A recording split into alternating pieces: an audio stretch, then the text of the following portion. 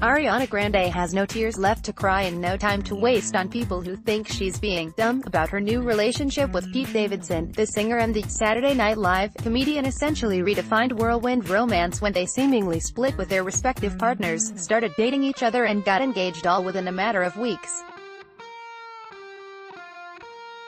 Their relationship certainly has its supporters, fans have already dubbed the pair grandson, but there are some out there who are reluctant to fully jump aboard and ship the couple given just how quickly things are moving. Ahead of the release of her new single, The Light Is Coming, Grande teased a snippet of another new song, which she later revealed was named Pete, presumably after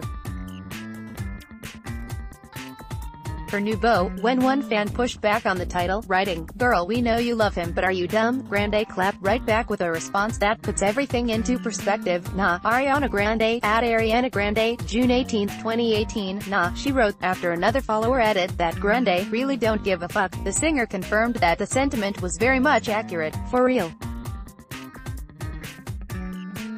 The truth is I've been the fuck through it and life's too short to be cryptic and shit about something as beautiful as this love I'm in, so it is, she continued, for real.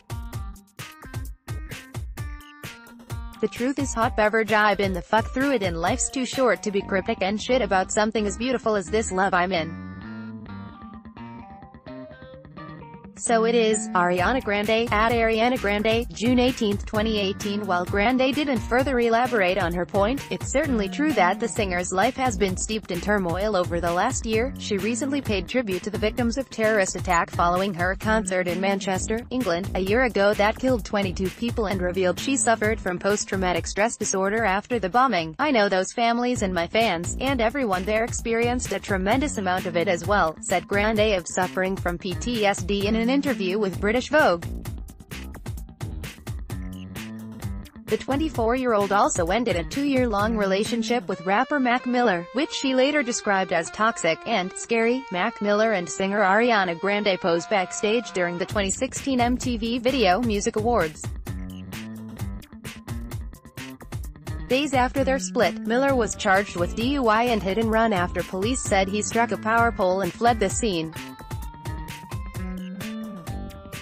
When a fan seemingly placed blame on Grande for not sticking by his side during a turbulent time, she shed some light on the unhealthy dynamics of their relationship. I have cared for him and tried to support his sobriety. Let's please stop doing that. Now, Grande is happy with Davidson, who makes frequent appearances on her social media, with the singer even joking that her Instagram is now only a Pete Davidson update account, a post shared by Ariana Grande, at Ariana Grande, on June 9, 2018 at 10.32 a.m. Pacific Daylight Saving Time Download photo gallery Ariana Grande's style through the years.